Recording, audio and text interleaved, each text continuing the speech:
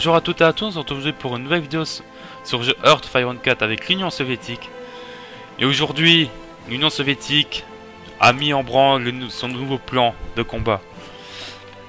Alors à chaque moment, quand ça déclare la guerre un peu contre tout le monde, est en train d'envahir la France, qui est déjà en train de tomber. Et nous savons tous que cette guerre n'est pas durable, malgré notre pacte de non-agression. Et qu'il est temps de prendre un avantage technologique sur eux, nous avons déjà un avantage au niveau militaire, au niveau des recherches sur les tanks. Même si notre armée n'est pas encore équipée, nous avons des nouveaux avions très prometteurs.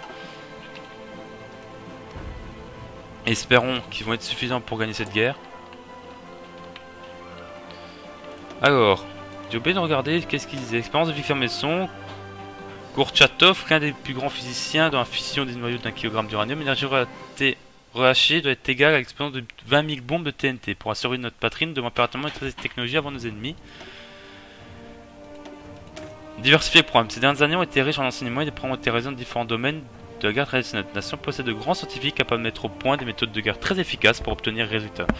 Nous devons offrir les meilleures conditions de travail. Après, nous avons un réseau de villes fermées. Nous devons créer des villes fermées dédiées à la recherche en offrant davantage d'espace que nos bases militaires actuelles. Les restrictions d'accès à ces villes nous permettront de mener des recherches dans les plus grands secrets. Nos sophistiques auront tout, l'espace nécessaire pour vos expériences à grande échelle. Autant vous dire que ça sera génial parce qu'on aura une nouvelle ligne de recherche. En plus, bon, il y a un débarquement ici. Et les Allemands, c'est étonnant, au lieu de rusher Paris et de faire essayer de faire capituler la France, ce qui aurait été le plus malin, il veut à tout prix en refermer la poche au niveau de la ligne Maginot française pour écraser ses armées. Bon après c'est qui le font. Donc ici, on va faire recherche atomique vu qu'on a gagné le bonus de 50% de recherche. En matière de fission nucléaire, division de l'atome libère une énergie incroyable. Qui me permettra de gagner encore un petit peu de temps dans nos recherches. Ce qui est non négligeable.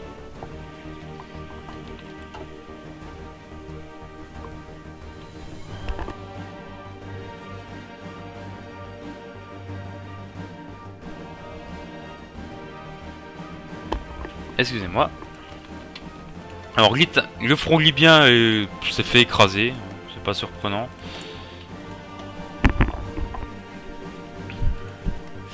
Euh, la France, je crois, fait énormément d'aluminium. Je crois qu'ils ont d'énormes réserves d'aluminium, la France. Ouais, ici, il y a déjà beaucoup de réserves d'aluminium. Faut que je un pays qui produit énormément d'aluminium, en fait, à envahir.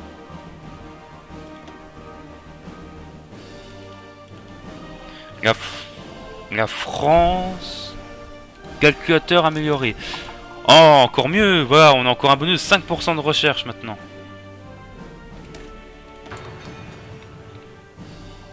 Oui, là on a gagné déjà, on a gagné 32 jours grâce à cette dernière recherche qu'on a effectuée, donc c'est c'est excellent quoi. On a énormément d'avantages sur la recherche, on a bientôt moins 25% en délai de recherche. Que demander de plus? On a Nancy-Metz qui tiennent ici. Les Français tiennent à tout prix, à tout prix défendre ces deux villes.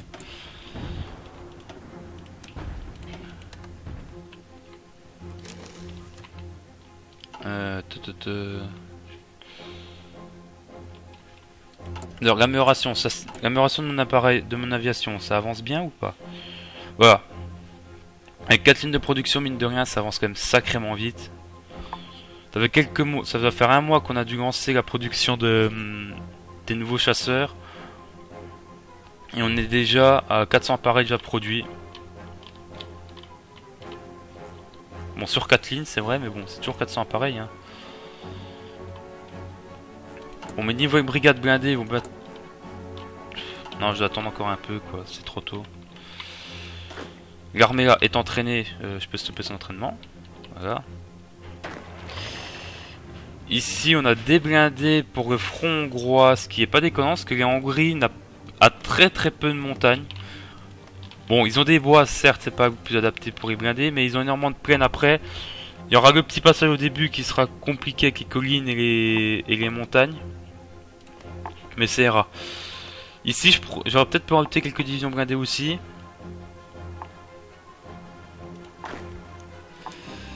Mais bon, On a fait 100, on a fait 100. Donc là on a des fortifications au niveau d'Odessa. C'est pas des lignes continues en fait la, ligne Staline, c'est des forts éparpillés un peu partout vers Minsk. Euh.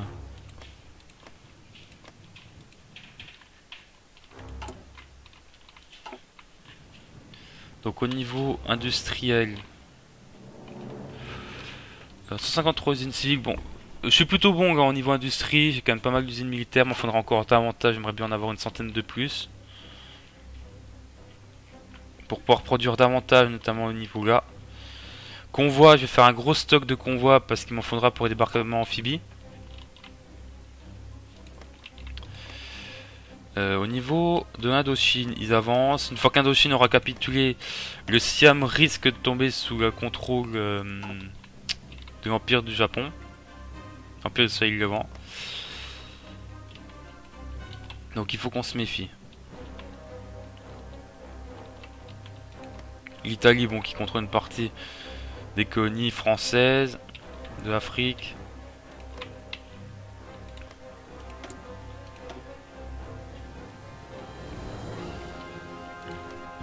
Les États-Unis, c'est quoi Ils ont quand même. Ouais, les États-Unis, c'est pas le plus grand producteur d'aluminium, quoi. Royaume-Uni, pas beaucoup. Norvège. Hongrie a déclaré la guerre à Yougoslavie. Ok.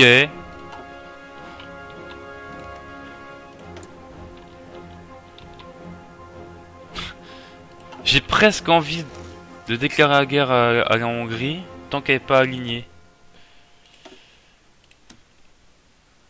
le pétrole commence à manquer pour mes blindés. C'est là que je me, c'est qu'on voit que j'aurais dû faire euh, exportation limitée. Parce que malgré que j'ai pris des puits de pétrole en plus au niveau du Moyen-Orient,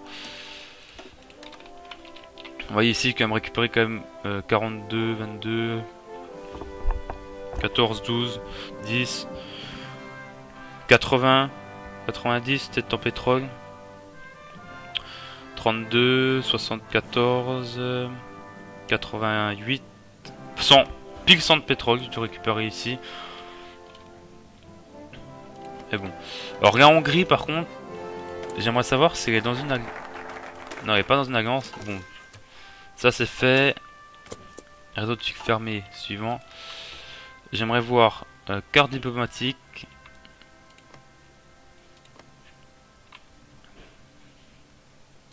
Carte des factions, voilà. Gax. Bon, bah trop tard. trop tard, et Hongrie a rejoint Gax. Deuxième arbitrage de même terme d'arbitrage allemand a traité à redonner le contrôle de la Transylvanie à Hongrie a été signé à Vienne. À la fin de la Première Guerre mondiale, ce territoire avait été donné à la Roumanie, créant un âpre différent. Est-ce au début du vaste ajustement frontalier maintenant qu'un nouvel ordre semble avoir été établi en Europe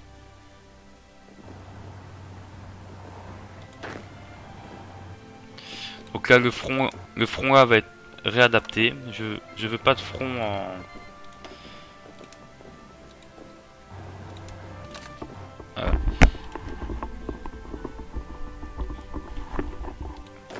Donc maintenant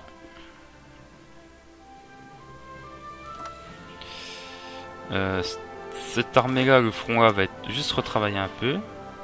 Il est totalement oublié le rajustement là en fait. Autant vous dire que la Yougoslavie va se faire massacrer. L'Italie aussi se fait débarquer, il se prend des débarquements de partout. Par là, il y a beaucoup de débarquements. Là-haut, bon, ils tiennent. Amitié avec le Japon. Accord de Kraïkova. Cette reconnaissance de la Bulgarie sera double braquet sud. Une nouvelle concession est imposée à Roumanie en 1913. D'accord. En gros, ces deux territoires retournent à Bulgarie. Ça a été capturé par la Roumanie lors de la Première Guerre mondiale. Enfin, juste avant, en 1913.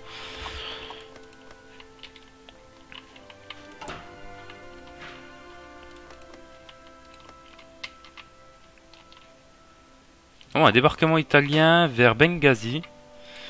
Essaye-t-il de reprendre Tobruk? On verra bien.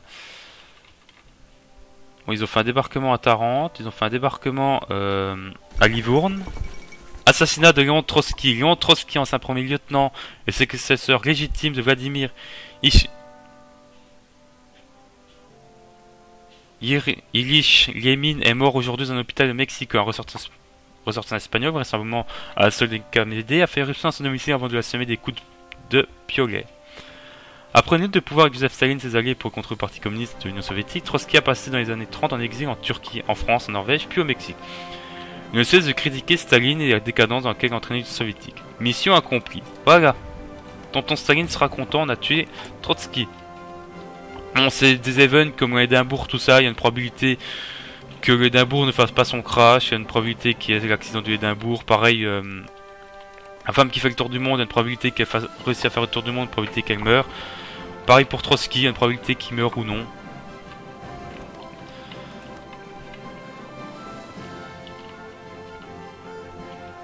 Et on fait avec un...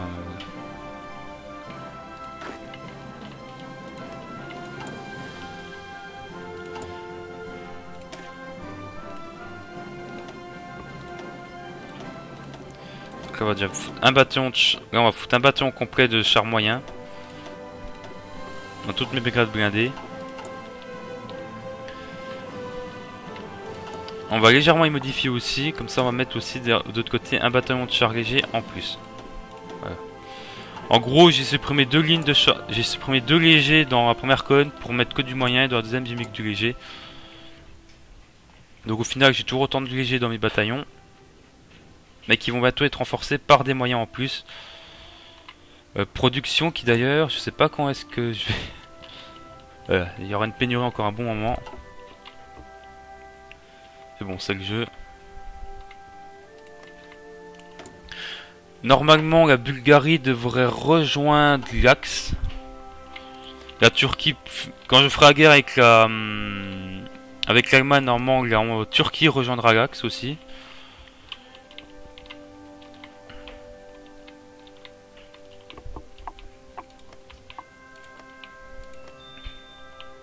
Ah, d'accord, les Japonais ont fait une attaque. En fait, les Japonais, ils ont changé leur tactique euh, d'approche pour la guerre.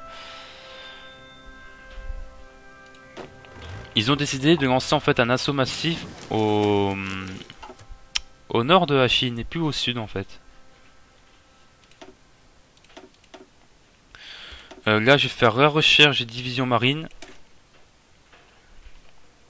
Amphibie, voilà. Assaut amphibie, attaque plus 50%, rivière plus 40%, marécage plus...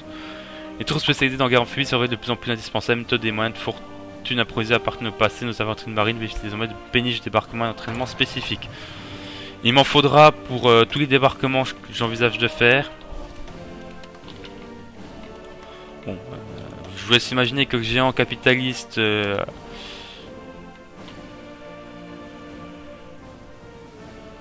Bolivie. Ah oui, je suis bête, c'est pas de port, c'est normal.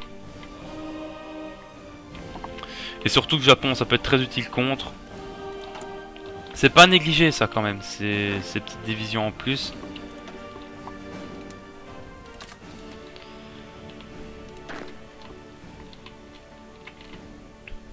ici, on a de nouveaux blindés. Bon, minimum, ils sont. On en manque de blindés, c'est sûr qu'on va avoir des petits problèmes d'ajustement, mais bon. La, pénurie, en fait, vous voyez qu'elle diminue euh, chaque jour. Je crois que ça diminue de 4 jours. On va regarder ça. Voilà, 3, 3 jours. C'est tout à fait normal que ça diminue aussi, vite parce qu'il faut considérer que 1 j'ai plus de chars qui ont été produits. 2, ma productivité augmente. 3, j'ai plus d'usines militaires avec le temps. Donc au final, ma productivité générale augmente sur le niveau de chars moyens. C'est pour ça que ça diminue beaucoup plus vite que si j'avais par exemple... Si j'avais que l'INEA, que j'ai pas plus d'usines et qu'ils étaient déjà productivité maximale, la durée aurait été juste. Par exemple. L'Albanie se fait envahir.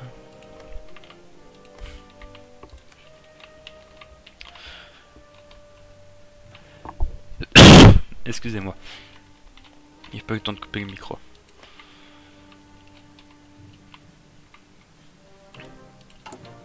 Bon, réseau de fil fermé, c'est bientôt le politique axée sur la réputation militaire, taux de renfort, voilà. Taux de recouvrement, je crois que c'est quand vous remplacez des soldats au front qui ont été perdus. Je crois que c'est le temps qu'il faut pour que les troupes arrivent.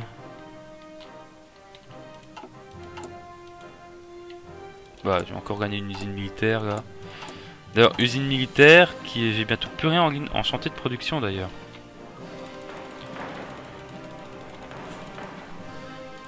Servagos. Voilà.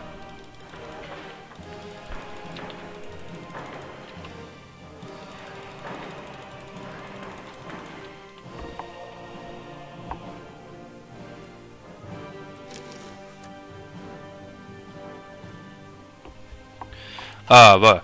Donc là je vais faire ce que je vous ai dit, économie exportatrice euh, limitée. Euh, je vais perdre du temps sur mes recherches.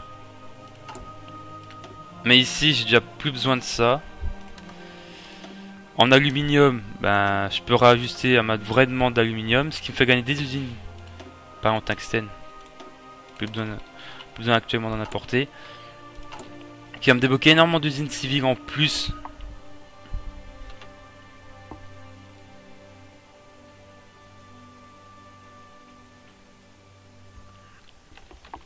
Donc voilà. Euh, après, ça peut être discutable. Je, perds un peu de temps de recherche. C'est vrai, je perds 4% en temps de recherche, donc qui retarde un peu tout. Mais en soi, euh, je trouve qu'économiser beaucoup d'usines civiles est préférable à avoir beaucoup de recherche en fait. Parce qu'au final, 5% c'est négligeable par rapport à gagner 7, 8 usines civiles, peut-être même plus, j'en ai peut-être même gagné 10 là. Ouais, j'en ai, gagné au minimum 6 d'usines civiles. Euh, d'usines euh, oui, civiles. Celui-ci n'était pas à fond, je crois qu'on a gagné 11. Donc voilà, c'était largement rentable, il ne regrette pas avoir fait ce choix.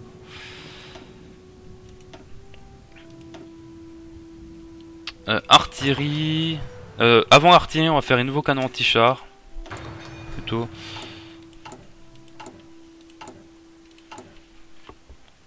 pour pouvoir justement lancer la production de nouveaux canons anti-char et que ça prenne moins de temps. Euh, les, hum, faut savoir un truc quand vous faites les recherches. Les recherches ça pique instantanément sur toutes vos unités. Donc il n'y a pas de temps de mise en attente, c'est mis instantanément une fois que recherché. Ça, ben, il faut changer la ligne de production et le modifier. Donc il y a le, temps de latence. Et Yougoslavie a capitulé. Waouh euh, normalement, c'est l'Italie qui va récupérer la grande partie de hum, la Yougoslavie. Ah, mais elle est tombée sacrément vite à Yougoslavie quand même. Bon. Le tungstène, c'est normal que j'en ai besoin. Euh, c'est. Et encore, c'est le tungstène qui pose problème. Après, on aura des problèmes en, chrome quand, quand on sera fait les chars modernes. Bon, j'ai presque tout fait le problème là, c'est dérangeant. On va faire réalisme, socialisme, culte de l'aviation ou... On va, oh, on va faire ça, opération Z, annexer Clown va. Ça nous donnera encore plus d'industrie pour la guerre.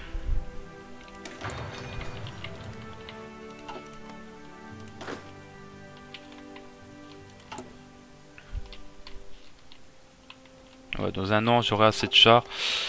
Euh, normalement, quand même déclarer la guerre, je devrais avoir assez de chars.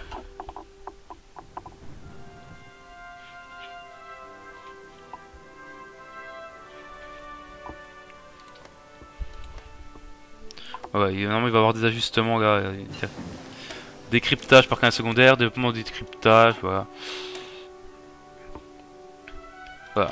Le cryptage, ça permet de contrer le décryptage adverse, avec décryptage. Après, problème quand tout le monde est au même niveau. Il y a une nation qui est fumée, c'est les États-Unis. Ils ont une possibilité d'avoir un bonus dans le cryptage. République populaire de Chine a capitulé. Euh, vitesse d'invasion, amphibie,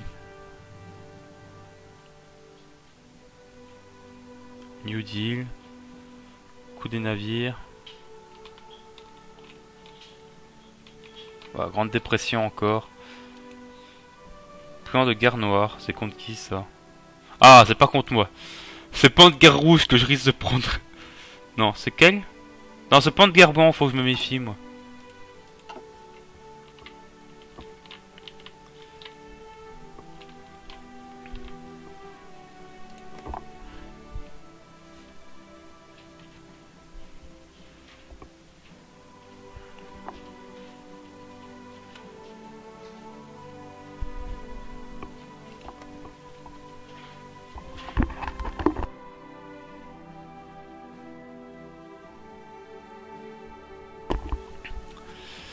En tout cas, ce qui risque de se passer si jamais on déclare la guerre à l'Axe, c'est que l'invasion du Japon risque d'être ultra rapide.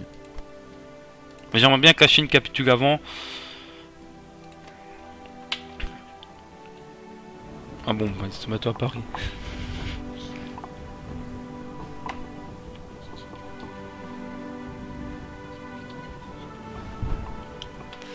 Bon, euh, la France va bientôt capituler. Normalement, en fait, ce qui se passe avec la France, c'est que Paris, étant donné que ça rapporte 50 points, généralement, quand ils perdent cette ville-là, ils perdent en fait toute vérité guerrière. Parce qu'ils n'ont pas assez d'unité nationale.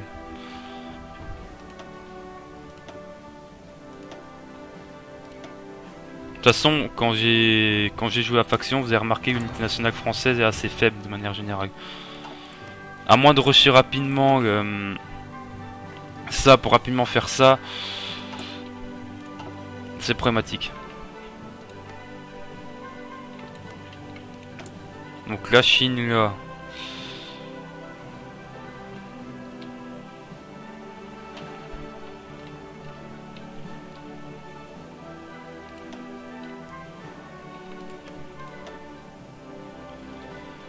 Après par contre, quand on fera campagne avec le, Japon, faut vraiment que jamais faut vraiment que jamais encore plus au Japon parce qu'actuellement vous voyez ils peinent beaucoup trop en, Chine et c'est vraiment ça le souci quoi.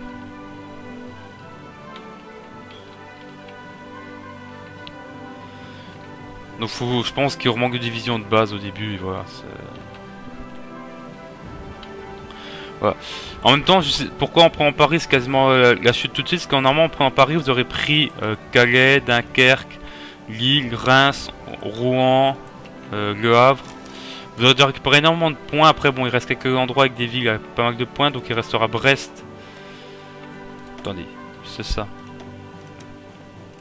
Il restera Brest à 20 points, il restera euh, Cherbourg avec 15 points, il restera après Orléans avec 15 points. En grande ville, je pense qu'il reste. Bon, après, il reste bien évidemment les villes du sud, 10 points, et Bordeaux à 20 points. Mais globalement, la France a capitule quand vous êtes à Paris, ont quasiment capitulé quoi.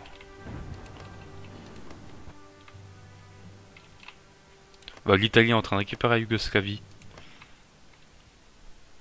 Ce qui est nullement surprenant. Hein. De base, l'Italie a des revendications sur la Yougoslavie en fait.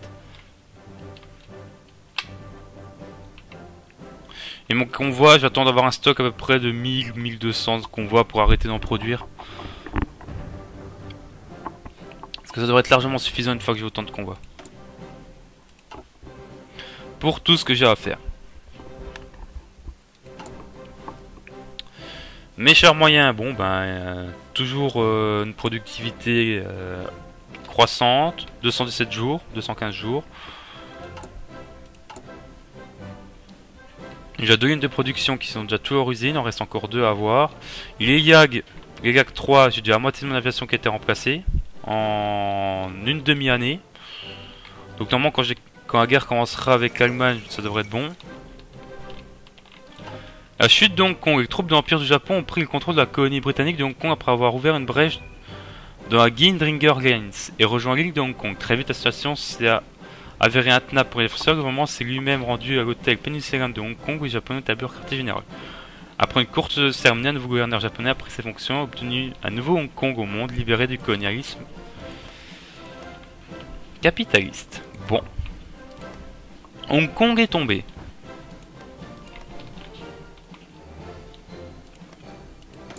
Eux, normalement, je peux toujours les inviter dans mon parti. Eux, je peux toujours pas.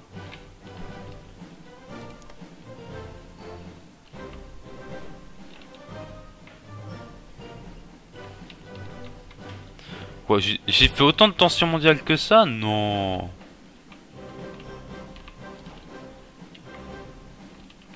mhm. Enfin bon. La guerre totale va tout débuter. Ah, j'ai encore des divisions en plus. Parfait.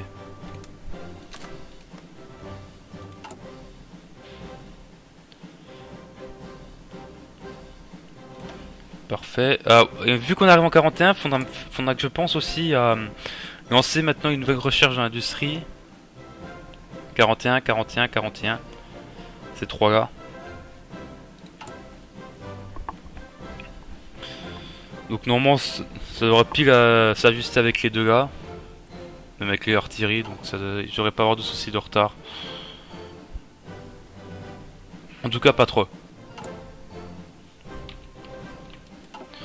Et mon avis personnel, les canons de flag sont quasiment inutiles.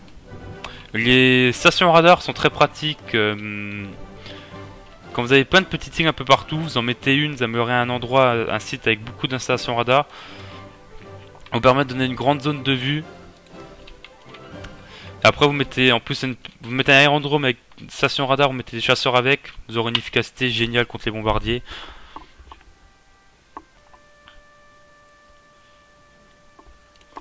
Croyez-moi, vous n'allez pas regretter.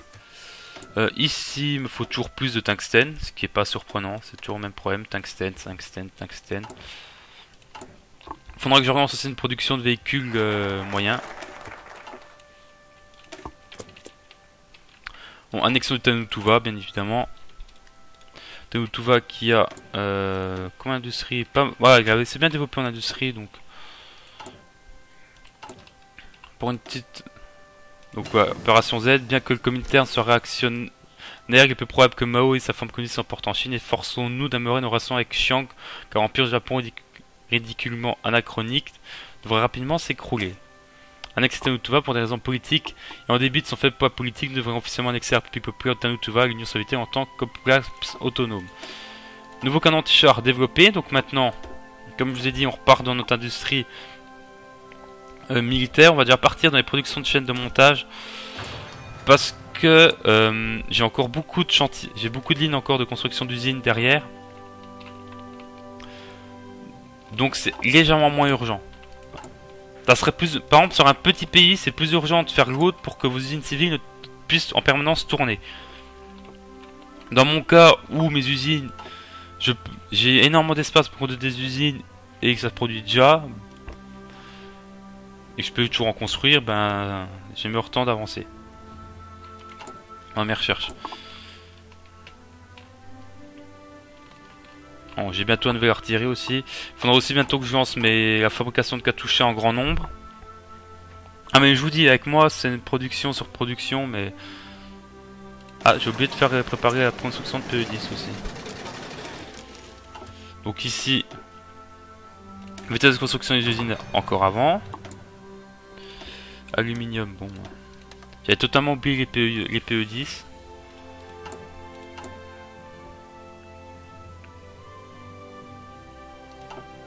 Oh ça va, c'est pas grave. C'est pas encore trop grave. Ah, il y a eu un débarquement ici qui, a bien joué. L'Italie qui arrive pas à gérer ce de, de son pays, c'est quand même impressionnant ça.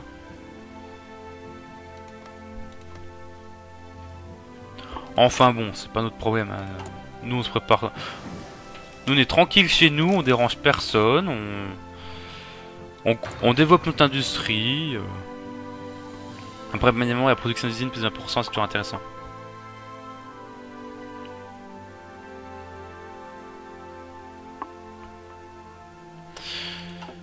Après voilà, les deux se discutent en fait entre les, les deux, que les plus 20% ça va augmenter la productivité euh, par jour, donc c'est-à-dire je vais produire plus par jour de produits. Par exemple ici au lieu de produire 3-8, euh, je vais peut-être produire 4 avec les plus 20%. Et après l'avantage de limite de productivité c'est plus on attend, plus on en a beaucoup. Donc les deux se discutent. Et je fais 15,23 chasseurs par jour. J'ai quasiment déjà, remplacé l'intégralité de mes, chasseurs. Par contre, j'ai quasiment aussi atteint la fin de, cette vidéo, parce que la durée est, déjà assez longue. En tout cas, on s'est bien préparé pour cette guerre. On a fait beaucoup... Bon, c'est un épisode beaucoup de recherche, d'annexion. On est plutôt tranquille dans cette partie-là. Mais la guerre devrait bientôt arriver. Euh, J'ai même envisagé un truc. Ça...